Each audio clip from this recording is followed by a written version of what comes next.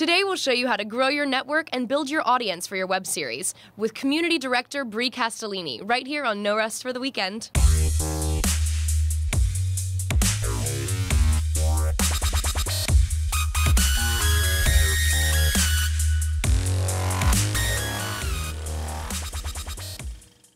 Hello, and welcome to No Rest for the Weekend, the show where we talk to the creators of independent film and series. I'm your host, Victoria Oliver. One of the hardest things for content creators to do is to build a community of collaborators and find an audience. Bri Castellini is the community director for Stareable.com, a site that's become the largest community of web series creators and fans. She is also an award winning independent filmmaker. She is the creator and star of the web series Brains, as well as the executive producer of Relativity and producer of Stray. Our very own Jason Godbey had a chance to speak with her in the studio and talk about how to build a community and grow an audience. Hi, it's Jason Godbey for No Rest of the Weekend. I'm here in the studio with Bri Castellini. Uh, she is the community director for Stareable.com. Welcome, Bri. Thank you so much for having me today. So, Bri, just to uh, just to start us off, give me a little bit of uh, background on yourself. Sure. So I got my Bachelor of Arts in Creative Writing in Oregon after growing up in Colorado. And I was a prose writer for most of that. I wrote a, a novel for my senior thesis, and I was sort of floundering. I wasn't really sure what I was going to do next. It, the best option seemed to be working at a coffee shop and writing novels on the side, um, which, you know, sounds very romantic, but also kind of boring. And then in, in between my junior and senior years of college, I was listening to this podcast called the Nerdist Writers Panel, which was um, a panel of TV writers each week. There were like two or three different TV writers. I was a big fan of TV, and I would listen to them talk about making their shows. And I realized slowly that the type of writing that they were talking about was like the ideal type of writing for me. You know, I, I, I it was exactly what I wanted to be doing. So I applied to one graduate school uh, to get my MFA in writing and producing for television. I got accepted by the only one I applied to, LIU Brooklyn, and uh, that's how I moved to New York and then you somehow came to Stareable.com. Mm-hmm. First of all, uh, we did interview Ajay um, Ajay Kishore from Stareable. But for those who didn't hear or see that episode, mm-hmm. tell us a little bit about Stareable. Sure. So Stareable is the largest community of web series creators and fans. We have a couple of different websites serving slightly different purposes. Stareable.com is sort of a catalog of web series because they are so there are so many places that you can find them online. You can find them on YouTube and Vimeo primarily, but if you just search for web series in YouTube or Vimeo, your search results are going to be kind of wonky.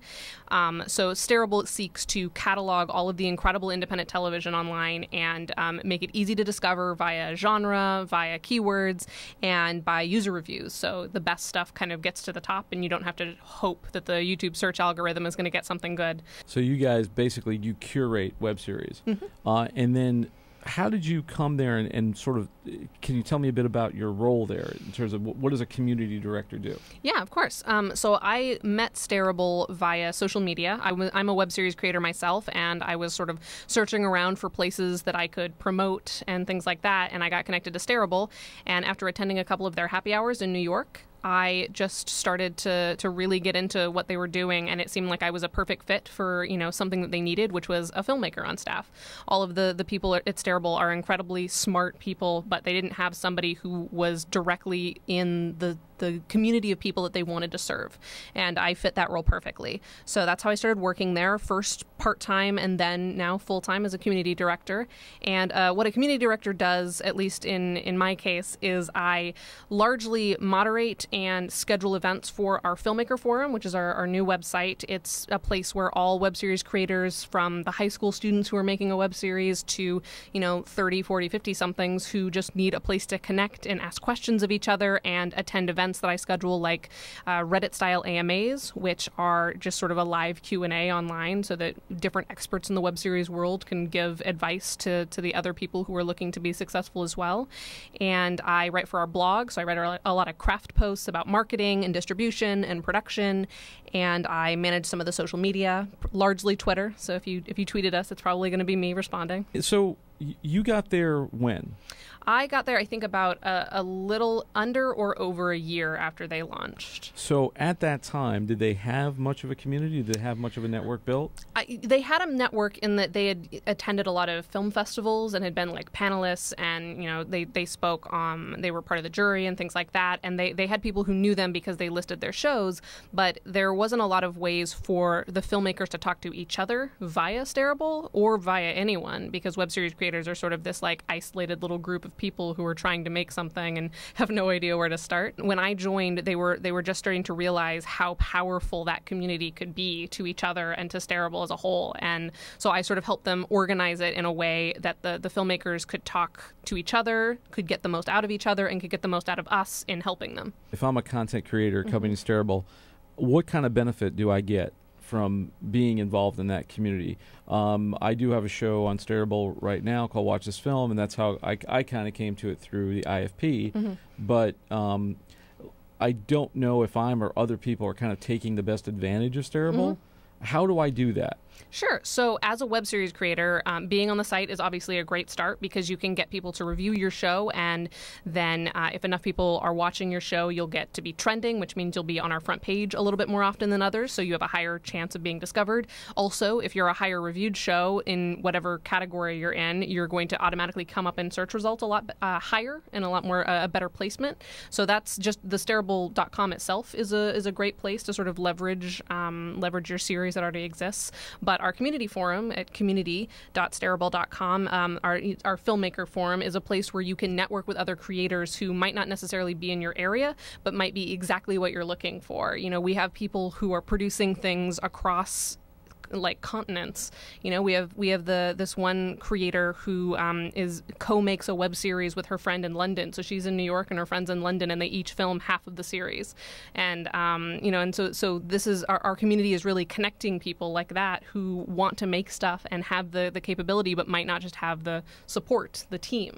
How do I get my show reviewed? Mm-hmm. Do I is it do I go out and review other people's shows? Do I like is is it kind of the thing where if I interact more with it, people interact more with me?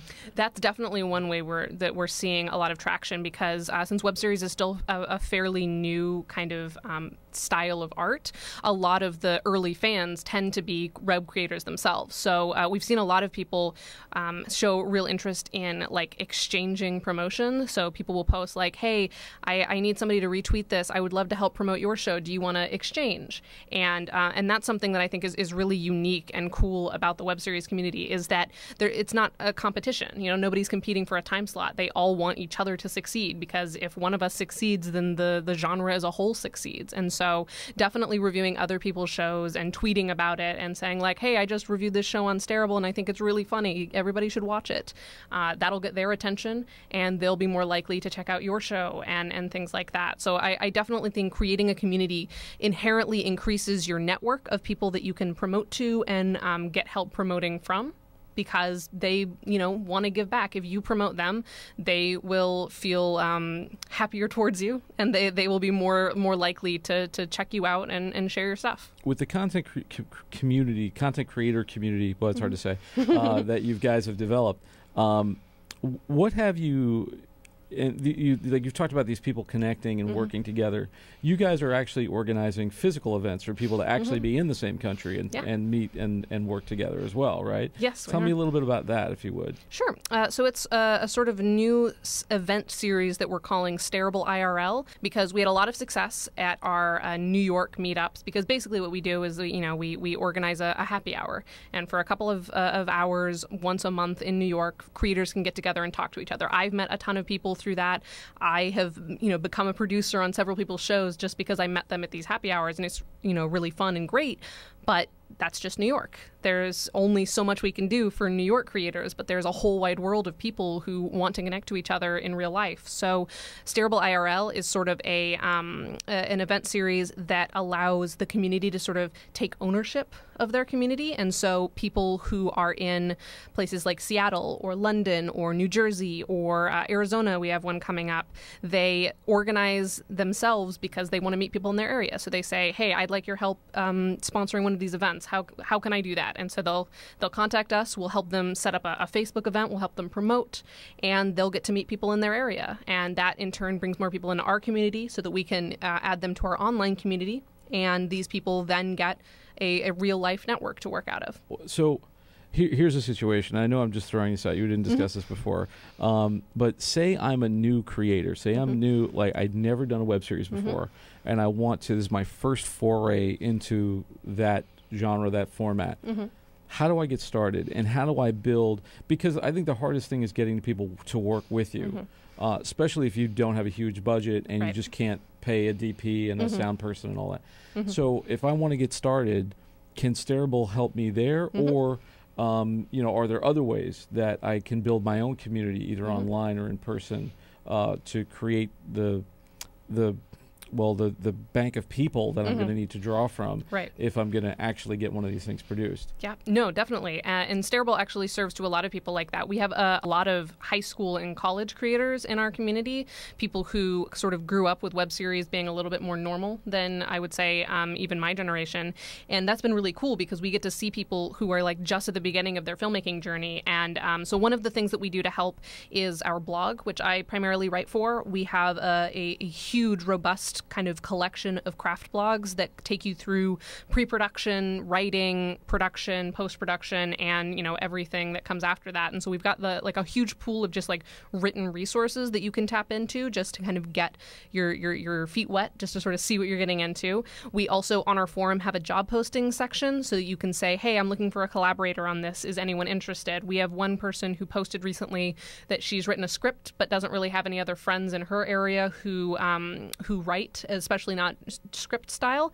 And somebody commented like, "Hey, you you you're actually kind of in my area. Do you want me to look it over?" And she was like, "Yes, absolutely. I would love that." And now they're working together on it. And it's this this really cool thing where you know where it's such a supportive community, and I'm always floored by how supportive the people on there are. Anytime someone has a question like, "Hey, I need to buy a new camera. I don't know which cam- camera to buy," like eight different people will give their advice and say, "This is a budget option. This is a less, you know, this is a more expensive op- option." It seems like you guys are really cultivating more toward like fictional narrative series as opposed to a little bit. I mean, we, or we actually have a, a quite a few documentary makers in our community. Um, we actually have a, a documentary AMA coming up. Uh, James Boo, he's a, a local creator. He's created this web series One Minute Meal, which is a series of sort of micro documentaries about the food culture in New York City, which is phenomenal. You should definitely check it out. Um, but he is doing an AMA because I, I noticed that we have a couple of doc makers in our community who, you know, are getting something out of the crowdfunding uh, experts and, and things like that. But we do sort of have a tendency to focus on narrative web series, but I, I don't think that that's necessarily something that we have to. And so um, I, I'm, I'm definitely looking to expand to, to more experts and resources for people who are doing nonfiction work because we have a lot of really, really talented nonfiction people in our in our community, and I want to make sure that they're getting as much out of this as the rest of us. Very cool. I mean, I think uh, the other thing is, and I talked about this a, bit with Ajay, and I don't know how much you're involved in this, but getting getting a show in front of someone Mm-hmm. and getting to the point where I think the hardest part is getting in the room, and Mhm. you know, uh, and this whole idea of creating a show and getting an audience and then getting attention from that it just seems like that'll take a billion years to Mhm. do like it seems like like a, like a geological pace is, is you know Mm-hmm. and are there ways that you guys have kind of tried to ex- expedite that and say hey listen like i know that when i saw aj at ifp kind of talked about like well maybe you haven't seen this show it's only got 150 views online but it's a quality show Right. and that seems to be the mantra Mhm. for you guys which is great um, and that's that's why I wanted to be involved with it because I said, you know, you're sitting in the sea of YouTube, Mm-hmm. um, and do you see that as becoming um, a bigger, better part of the organization in terms of putting your community in touch with people who can actually get their shows made and, and to a, a, a forum where people can actually see them? hmm Absolutely. And, and I think that one of the ways that we do that is by uh, empowering them to help each other out because each person has their own sort of distinct network, whether that's people who already know them or the four or five fans that their show has accrued. But no matter what, any creator you meet knows people that you don't. And if they help you promote, that obviously kind of exponentially expands. We also have a lot of marketing resources. I recently wrote a series of posts um, under the umbrella title "I Hate Marketing" because no filmmaker enjoys it, but we all have to do it, especially if we're making content for the web. So it's a series of sort of very actionable guides for how to um, make your marketing situation easier on yourself if you hate doing it. Uh, and we also within that had a series or a, an article, excuse me, for distribution specifically because there are a lot of um, emerging indie distribution options that I don't think people know about, like Seeka TV or Stream Now TV. Uh, Seed and Spark just launched a streaming service, things like that. And so I, I compiled all the ones that I had found out about and researched and compiled how you submit to them, what kinds of things they're looking for, and uh, just sort of in one easy list so that if you don't want to just do the YouTube route, you have options. That's excellent because I, I do feel like not enough of these things are known. Mm-hmm. And I also feel, you know, with some of the, like Vimeo to me is filmmakers talking to filmmakers. Mm-hmm. And YouTube is an endless sea of cat videos and, and uh, Vloggers mostly you now. know, and people getting hit in the genitals with baseball bats. Mm-hmm. And uh, like, how do you compete with that? But um, I, uh, so I think it's the curation is definitely needed. Mm-hmm. Um, and do you guys, I asked Ajay this too, but I'll surprise you with this question. Do you guys see uh, Stareable as becoming a platform itself? So where people can actually embed and stream from there? I know that's a lot of work. yeah, uh, and that's definitely not my field. I'm not the engineer on the team, um, but I know that our, our community has expressed interest in that, and so we, we're definitely thinking about it and ways to make the experience a little bit less click and go to another website. You know, we, we're definitely trying to keep people in the Stareable ecosystem. That way, that they can they don't just find one show and leave. They can find one show, watch it, enjoy it, and then click a, a related show in the tab next to it, and just sort of keep watching great indie content that they might never have found otherwise. Uh, but in terms of an actual like actionable business plan, I can't really speak to that just because I have no idea what goes into that. But uh, but we're definitely thinking about that for the future because we want to make it easier for audiences to find great content. Very cool. And I know you guys are going to be doing more with like film festival Mm-hmm. events and stuff like that uh, coming up, uh, hopefully uh, in 2018. Mm-hmm. Um, anyway, I wanted to thank you. I'll leave you with uh, one more question. So if there's if there's anything that I didn't ask you about or any bit of advice that you could give Mm-hmm. a content creator looking to get into this, e- either into web series or just kind of boost their online profile, Mm-hmm. or you know maybe that lost soul who's a who's a writer or a director who Mm-hmm. who, doesn't have people to help make their vision happen. Is, d- what advice would you give to those people on like how to start, how to get going, or Mm-hmm. or maybe uh, if you're stagnant, how to reinvigorate, Yeah, of course. you know, and and build that. Sure. So for meeting other creators and sort of building a community of filmmakers that you can ask like advice from and things like that, uh, which is something that I benefited from, you know, tremendously as a filmmaker myself. Uh, one thing is just start reaching out to people. You know, everyone's email is on the internet somewhere, and even if their email isn't somewhere, you can probably find them on at least three social media platforms. So reach out. I reached out to a, a show creator on Instagram once just because uh, their show Auto followed me back. I didn't realize it was Auto at the time, but I was like, oh, cool. I really like this show. And so I, I messaged them and I was like, hey, do you mind if I pick your brain sometime? Because you guys are doing such cool things and I would love to sort of do that myself. And they immediately responded. And now she and I are like good personal friends and she taught me so much. And so if there are people that you are a fan of or people that you respect who are doing cool things in the space that you want to do cool things in, reach out. The worst that can happen is they don't ever respond to you. But there's so many creators out there who are willing and open to help out the next generation of creators or uh, the their same generation of creators. Uh, and so that's for, for that one. Uh, in terms of building an audience, I would say that one big thing that people sort of don't realize when they're building like a social media presence is that they only tweet or Facebook about themselves, which seems to make sense because it's their Twitter account, but that's not what people are going to follow you for because, you know, you don't have The Rock on your TV show or on your web series, so nobody cares about your stuff specifically. So if you start curating content that is similar but is slightly more um, thematic or popular, you're going to start getting people who are interested in that content. And if it's similar to yours, they're going to stick around when you start promoting your show. So if you curate content on a blog or on your Twitter account or whatever that is thematically similar to your show, whether that's comedy, whether that's documentaries, whether that's a, a particular issue like women in film, Black Lives Matter, something like that, people are going to start following you for that content. And if yours is similar, they're not going to bat an, eye, uh, an eyelash when you know you start promoting your own thing. Yeah, and I also find there's, there's a big difference between um, I'll like that and I'll actually click on it and watch it.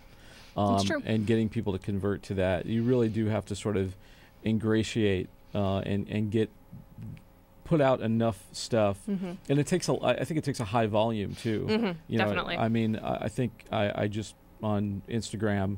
Uh, we're at like 500 and something followers, but I, to get that to get to 500, I had to put out a thousand posts. Yep. Uh, and it really is this kind of like you know three times a day, every day kind of thing. Mm-hmm. Um, and you know we we did what you were talking about. We created this show. We created our blog because we found that we could speak to the creator community, Mhm. and uh, that would be an audience for us as well. And, we, Yeah. and and it's all about give back and help. Mhm. So uh, you know, having people like you on the show that Mhm. can add add value to them, um, and really kind of reach. It's hard to do that though. It's It not is. easy. No, it's not. Um, so I it, I applaud anybody who's Mhm. who's reaching out there and, and trying to and get to an audience, Mhm. which um, I, fa- I find that you know a lot of times you're in your own echo chamber online. yeah. So trying to break out of that can be very Mhm. difficult. Um, but uh, I think what you guys are doing is great. I hope it takes off. I hope it's really successful. Mhm. It seems like you guys Thank are you. building a great community right now, Mhm. uh, and we're all thankful for anybody who cares to look at our stuff, uh, especially if you're doing fictional narrative content. Mhm. It's not something that everybody clicks on, especially on YouTube. Mhm. Um, but uh, I think it's it's the type of thing where we'll, probably start to see more of those because they're needed. Yeah. You know, um, people want entertainment, Mhm. and but where do I find it? How do I you know where do I look for it? And what's right for me, kind of thing. Right. Um, and these things don't get reviewed a lot of Mm-mm. Times. Yep. So um, having people review each other is great.